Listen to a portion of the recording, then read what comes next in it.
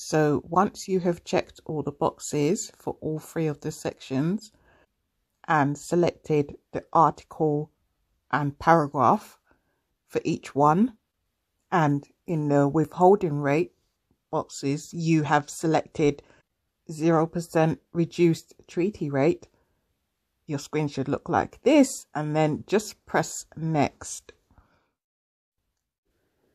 And then all the information that you've just input there will form a list and you can just double check it to see that all of the above say 0% reduced treaty rate.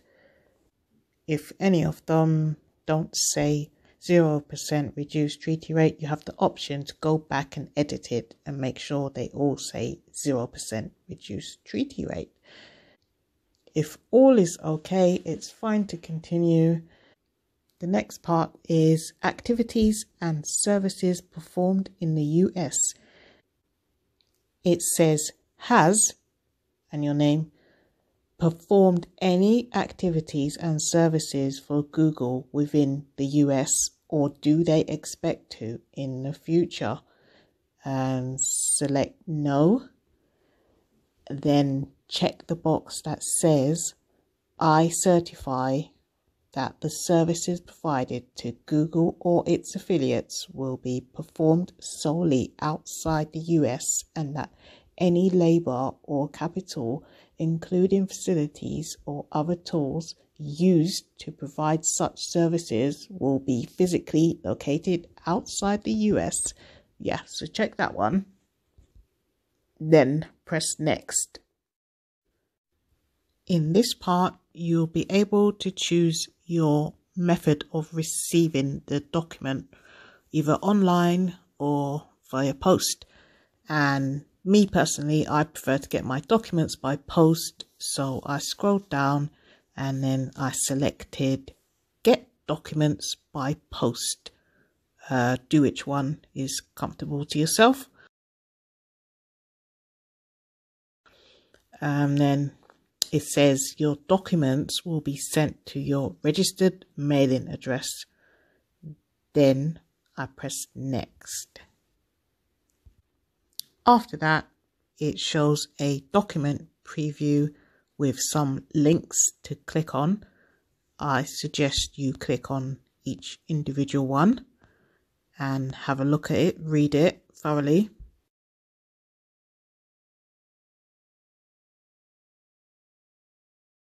And then if you're happy with the information then you can check the box that says I confirm that I have reviewed the generated tax documents to the best of my knowledge and believe they are true, correct and complete. So you check that box and then press next.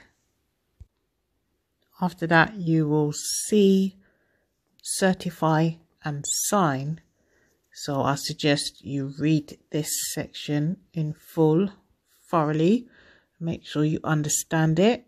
And then when you are happy with it, then check the box at the top where it says under penalties of perjury, I declare dot dot dot. it's a bit long for me to read all that. Yeah, you get the gist. then after that, read fully the unchanged status affidavit, understand it, and then once you're happy with that, check the box below to certify. And then after that, a box will appear below with the generated date of 1st of January 2020. If you press on the I icon it says, if you cannot use this year, please provide the year that you started business with Google.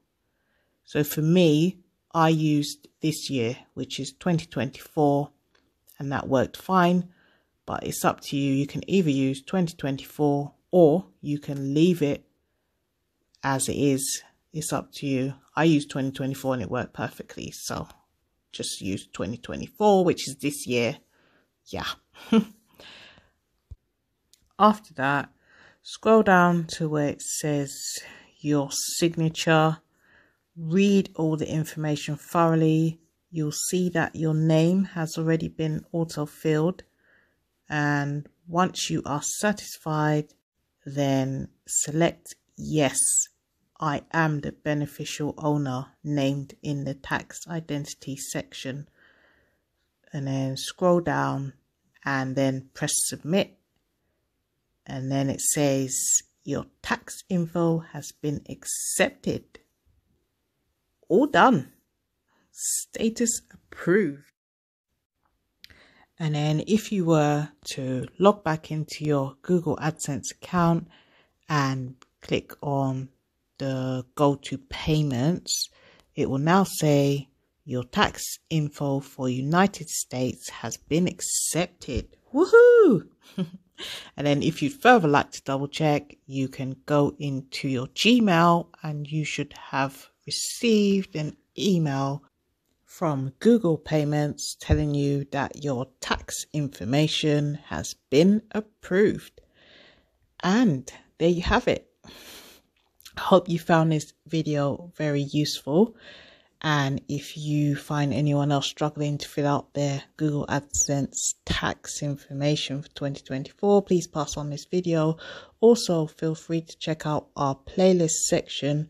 We have duplicate AdSense account error fixes for that. And we have Google AdSense playlist. And we also have demonetization and appeal successful appeal for demonetization in the playlist. So please watch that as well.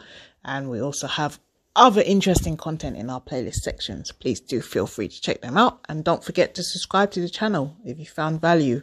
Thank you so much. See you on the next one, guys. Bye.